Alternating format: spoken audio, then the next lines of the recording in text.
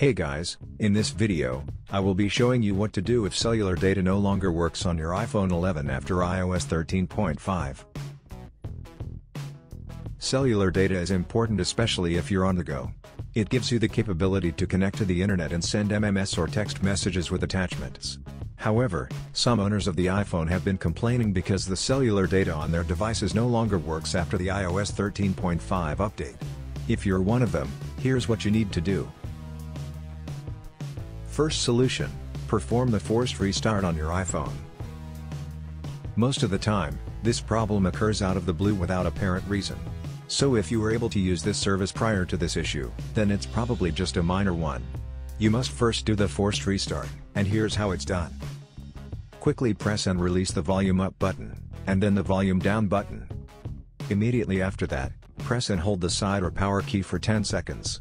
Your iPhone will power down and turn back up.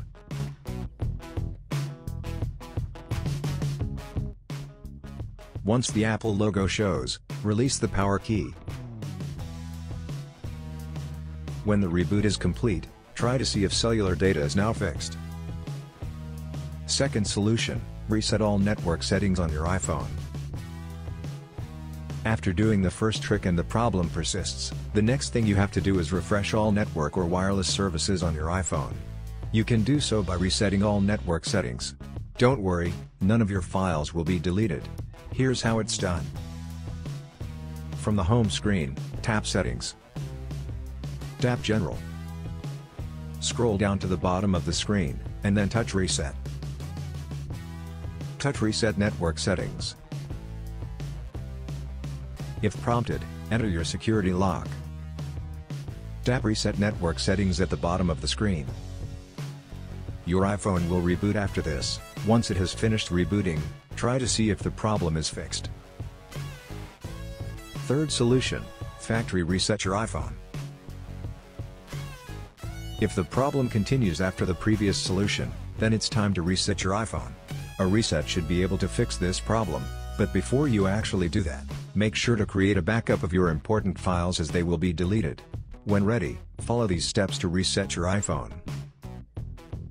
From the home screen, tap Settings. Find and tap General. Scroll down to the bottom of the screen, and then touch Reset. Tap Erase all contents and settings. Tap Erase now. If prompted, enter your security lock. Tap Erase iPhone at the bottom of the screen. Tap Erase iPhone again to proceed.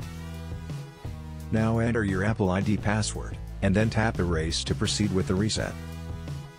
Wait until your iPhone has finished the reset, and then set it up as a new device.